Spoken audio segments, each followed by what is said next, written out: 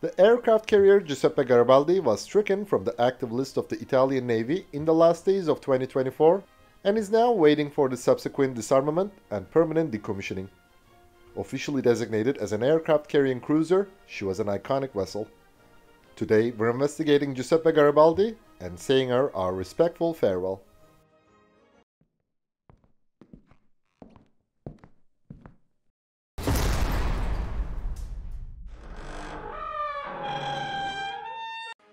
Giuseppe Garibaldi is counting the days for official retirement after nearly 40 years of service. She was the first actual operational aircraft carrier of the Italian Navy, according to one definition, and also the last cruiser built in Western Europe from another perspective. For Italy, Giuseppe Garibaldi was a 50-year dream which came true. This country's aircraft carrier development adventure goes back to 1925 when the Italian Navy acquired the civilian train ferry Città di Messina to convert her into a seaplane carrier. She was renamed as Giuseppe Miraglia. However, the vessel primarily served as an experimental catapult ship for most of her career. In the 1930s, many Italian Navy staff still had unfavorable opinions about having an aircraft carrier. Nevertheless, as soon as it joined the Second World War, Italy began converting the ocean liner Roma into an aircraft carrier and named her Aquila. However, the ship was still under construction when Italy signed the armistice in 1943. The 1947 Paris Peace Treaty, signed after the Second World War, banned this country from owning an aircraft carrier. When Italy became a NATO member in 1947, some restrictions were eased. Still, it could not have a ship with a full-length flight deck.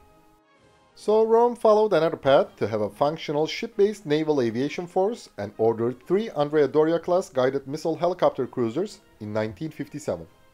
However, only two vessels, Andrea Doria and Caio Duilio, were commissioned.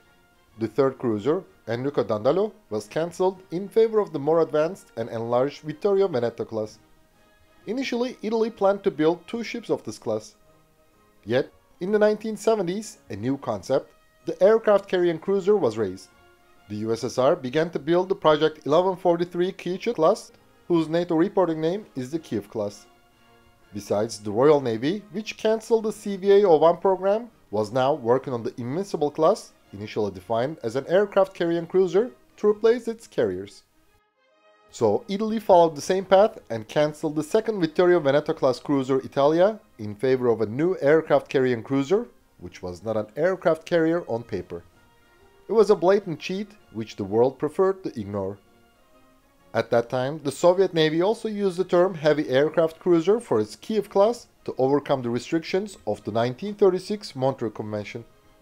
Likewise, Japan, a country that cannot constitutionally own an aircraft carrier, operates four helicopter destroyers today. So, in 1977, Italy began the design works of its new aircraft carrying cruiser Giuseppe Garibaldi and completed it within three years. The ship was laid down on March 26, 1981, launched on June 4, 1983, and commissioned on September 30, 1985. However, Italy needed more than one trick to solve the legal problems. A 1923 law required the Italian Air Force to provide fixed-wing support to the Navy. However, the Air Force was unwilling to operate VTOL aircraft on Navy's behalf or allow the Navy to have its own pilots. This resistance continued until 1989. Then the Navy was allowed to order AV-8B Harrier IIs. The first Italian Harrier operations on Giuseppe Garibaldi began in December 1994. Therefore, the Italian Navy used the ship as a helicopter carrier for nearly 10 years. Still, before that, in various exercises, the Royal Navy Harriers had already landed and taken off on Giuseppe Garibaldi. Until the Royal Thai Navy commissioned HTMS Chakri Naruebet in 1997, Giuseppe Garibaldi was the smallest functioning aircraft carrier in the world. Despite her relatively small hull, she was an extremely capable vessel. The ship had 6 decks and 13 vertical watertight bulkheads. The propulsion system was divided into two groups in separate watertight compartments to guarantee the survivability of the engines. She could keep her operability even with three adjacent compartments flooded. The hull was equipped with standard anti-roll fins. Still, while sailing at speeds over 18 knots, two pairs of retractable fins with electro-hydraulic control were activated, reducing rolling from 30 to 3 degrees. Besides, two active compensation boxes were filled or emptied by water transferred by two electric pumps to balance the ship during air operations. The ship had operation capability in the CBRN environment. The exhaust gases were released after cooling to reduce the infrared signature. The flight deck with a 6.5 degree ski ramp at the front was 173.8 meters long and 30.4 meters wide.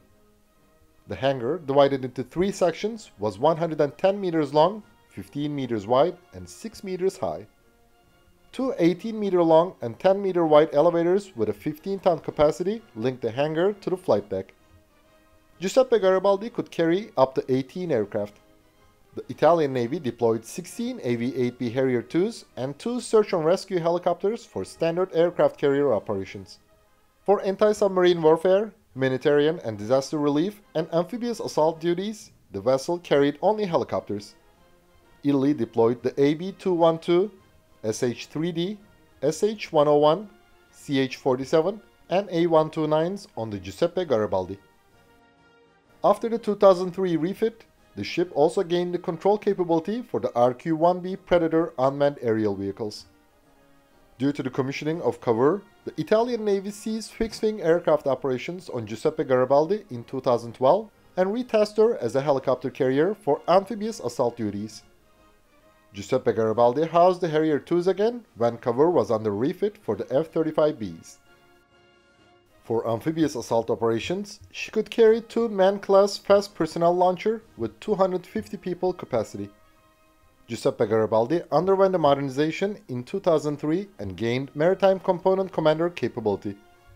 In 2013, the ship underwent modernization again. The complement of Giuseppe Garibaldi was 825 people, including a 230-person aircrew and 45-person flag staff. The ship had a length of 180.2 meters, a beam of 30.4 meters, and a draught of 6.7 meters. Her standard and fully loaded displacements were 10,100 and 13,850 tons respectively. She had four 20,250 horsepower Fiat GE-LM 2500 gas turbines in COGAG configuration. Her maximum speed was 30 knots. She had a range of 7,000 nautical miles, in other words, 13,000 kilometers with an economical speed of 20 knots. Giuseppe Garibaldi had the EF-band SPS-52C long-range air search, D-band SPS-768 air search, and EF-band air surface search radars whose ranges were 440 220 and 155 kilometers respectively. The ship was also fitted with the SPS-702 UPX surface search target indication, SPN-753 GM navigation, and SPN-728M1 carrier-controlled approach radars, all of which were I-band.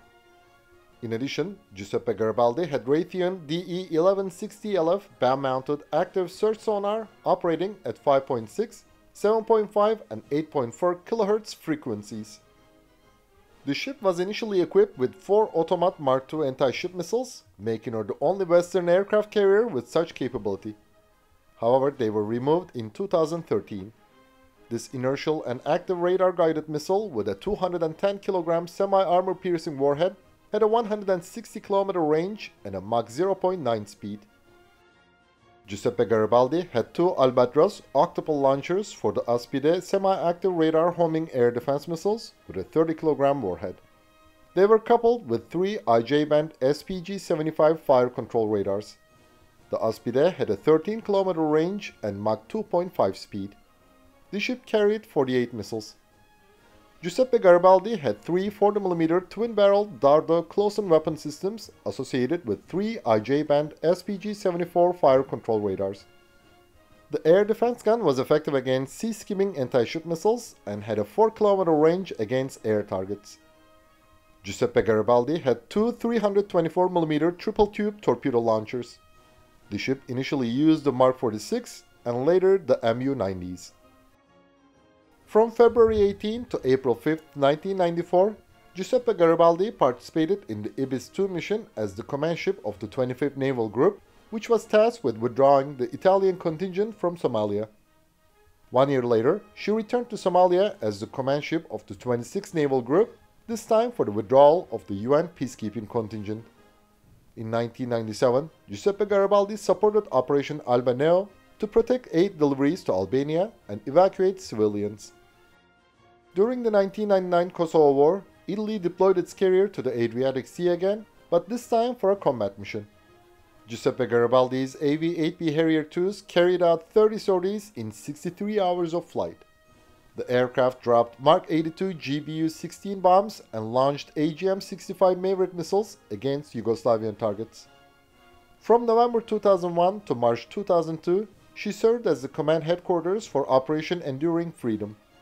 Giuseppe Garibaldi sailed non-stop for 87 days during this mission, covering about 37,000 kilometers.